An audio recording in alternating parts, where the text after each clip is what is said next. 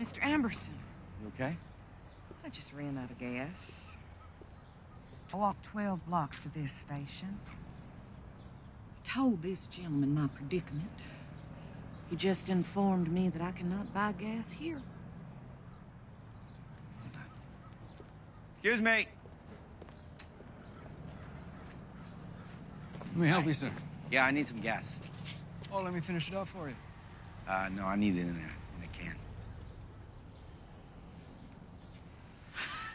No, I don't think so. Are you kidding me? Nigger Town is a mile across the tracks. She can buy her gas there, like it's supposed to be. What the hell you...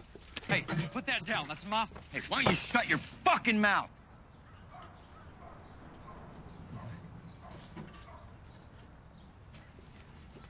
Excuse my language, Miss Mimi.